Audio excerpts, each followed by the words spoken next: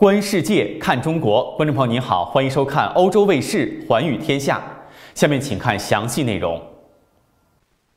五月十七日，巴黎上诉法院对前法国总统尼古拉萨科齐在窃听案中作出了判决，判处三年监禁，其中一年有期徒刑。这是对一位前总统的前所未有的惩罚。萨科齐的律师迪埃里·赫尔佐格和前高级法官吉尔伯特·阿奇贝尔也被判处相同的刑罚。此外，法院还宣布对萨科齐实施三年的公民权禁令，使其失去竞选资格，并对赫尔佐格律师实施三年的职业禁令。萨科齐的律师表示，前总统将提出上诉。在2021年3月1号的一审中，曾担任法国总统的萨科齐被判处同样的刑罚。这一前所未有的处罚引起了萨科齐阵营的愤怒，他们猛烈抨击国家金融检察院。萨科齐始终坚持自己是清白的，并立即提出了上诉。在2022年12月5日新审判的第一天，他表示自己是为了捍卫受到践踏的荣誉而来，并坚称自己从未贿赂过任何人。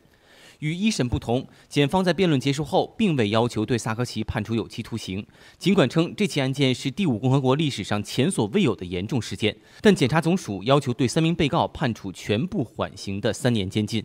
二零一三年底，负责调查萨科齐竞选资金来源的法官发现，除了萨科齐的两条电话线路之外，还有一条非正式的线路。这条线路是在二零一四年一月十一日以保罗·皮斯麦的名义购买的，他是赫尔佐格的一位高中同学。这条线路专门用于前总统与其长期律师兼朋友赫尔佐格之间的交流。他们偶尔措辞犀利的对话，在十二月的第二次审判中首次公开，成为案件的核心。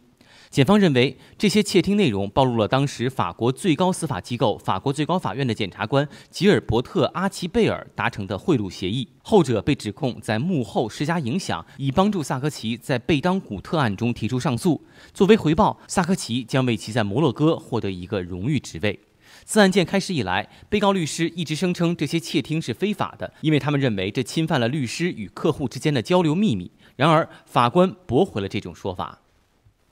苏丹医生联盟周二在一份声明中说，苏丹军队与敌对的快速支援部队之间的武装冲突造成的死亡人数已经攀升至八百二十二人，有三千二百一十五人受伤。该非政府组织在声明中指出，伤亡统计涵盖了国家首都喀土穆、北科尔多凡州首府奥贝德和西达尔富尔州首府朱奈奈。目击者说，周二，苏丹部队和无国界医生组织的战士在喀土穆南部的杰波朗地区爆发了直接冲突。无国界部队在周二公布的视频片段中说，他们已经占领了位于巴里镇的营地，这是苏丹军队的一个主要营地。而苏丹军队否认了这一说法。苏丹军队在其脸书页面上说，其部队击退了无国界部队控制营地的企图，并给敌人造成了重大损失。根据联合国人道主义事务协调厅周日的报告，自四月十五号以来，超过九十三点六万人因冲突而新近流离失所，其中包括七十三点六二万境内流离失所者，而二十万人已经在乍得、埃及、南苏丹和埃塞俄比亚等邻国避难。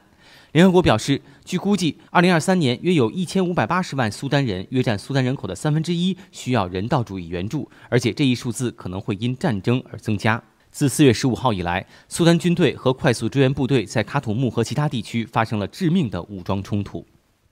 由于食品、燃料和化肥的价格全面上涨，英国的高通货膨胀给该国的农场带来了压力。根据英国国家统计局的数据，三月份食品杂货的价格比一年前高出百分之十九，是四十五年来最大的年度涨幅。数据显示，除了影响消费者之外，通货膨胀还影响了超市，其营业利润率约为百分之四或更少，以及该国的农业。面对管理费用增加的挑战，该国的一些农民采取了更激烈的措施，包括移除树木以减少损失，并将空地用于饲养牲畜、建造葡萄园或商店。作为回应，英国首相里希·苏纳克为农民制定了新的支持措施，比如提高猪肉和奶制品市场的透明度和合同，并拨出资金投资新的育种技术。他还承诺在下次竞选前将今年的通货膨胀率减半。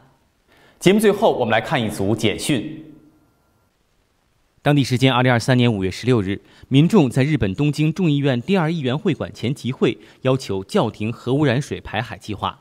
当地时间五月十六号晚，约五百名日本民众在东京日比谷公园举行集会。抗议者从国会议员到福岛县民，都在活动中表达了对核污染水排海计划的强烈反对。当地时间二零二三年五月十六日，巴西巴西利亚，巴西前总统雅伊尔·博索纳罗在联邦警察面前作证后离开了。当地时间五月十六号下午，因涉嫌提供虚假信息、篡改疫苗接种卡，巴西前总统博索纳罗前往首都巴西利亚联邦警察总部接受询问。此前，因其辩护团队声称并未获得相关案件报告，博索纳罗缺席了之前的传唤。